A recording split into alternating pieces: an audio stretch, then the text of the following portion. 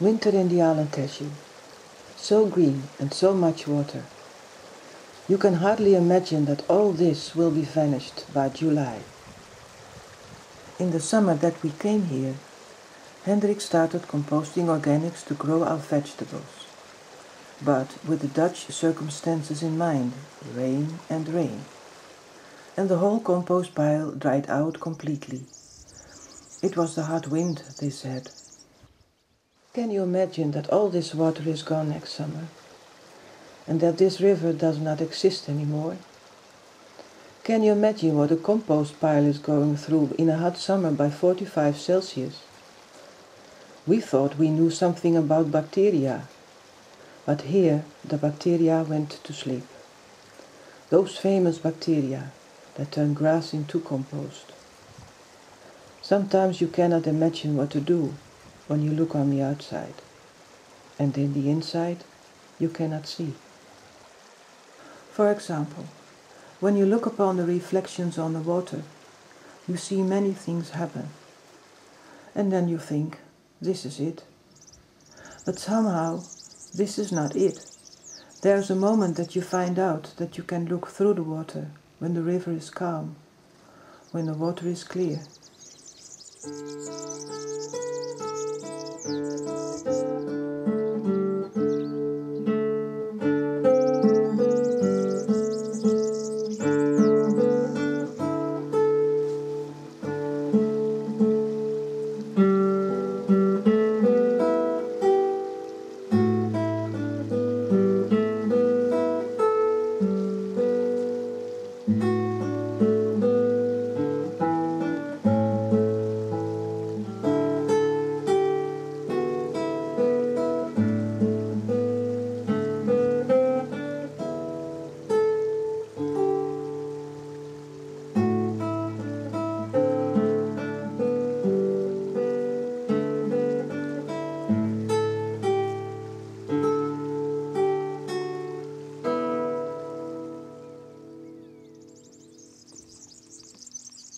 But okay, to come to the point.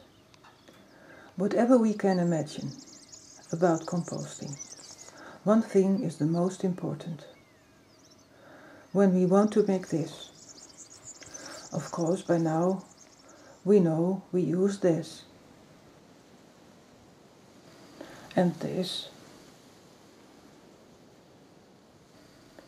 and this also this and this.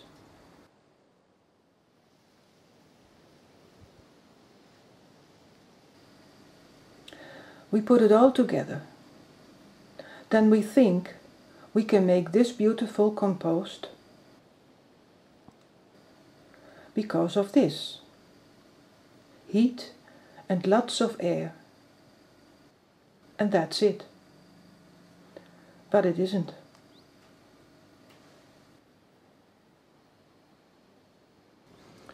Composting is a natural process by means of bacterial action. The bacterial action digests the organic matter. The work of bacteria is by secretion of enzymes. Enzymes are substances that dissolve organic matter. In this process, heat is created. This heat happens. It is a self-regulating process and it is using oxygen, air. This heat, in fact, is a bacterial energy. It is not a combustion process, it is a digestive process. The more air, the more consuming of organic matter. The more consuming, the more loss of organic matter. So to limit the consuming, to limit the loss of organic matter, we must limit the supply of oxygen. When we had this pilot plant more than 20 years ago, we found out that aeration of the compost was counterproductive.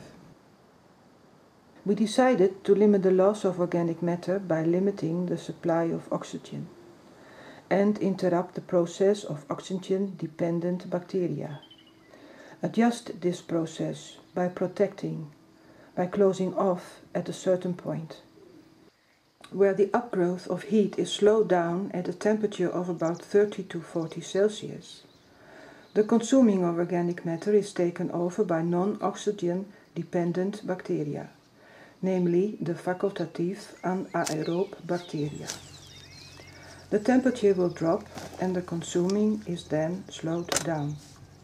Hereby the organic matter is saved before all is consumed by heat. The amount of humus in the compost is then on a high level.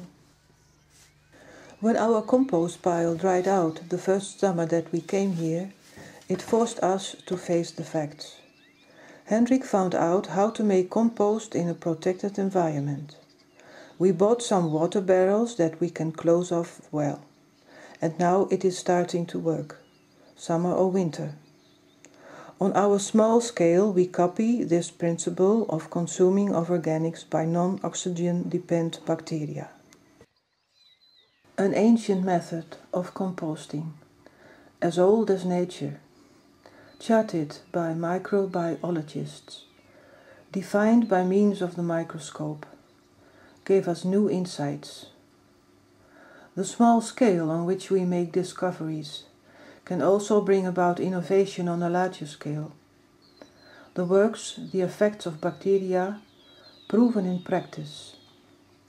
Compost farming on a small scale gave us the opportunity to apply findings, gave us the opportunity to adjust the method at any time. What we like is the idea of plants for plants, to grow grasses and herbs to serve as raw material for composting. That is the idea. Meanwhile, we have discovered that growing our vegetables can be done best through non land based cultivation. Plants in pots and containers, in compost only. This gives us the possibility to recycle the compost and we can see what happens. And our vegetables love it. Plants for plants, for humans.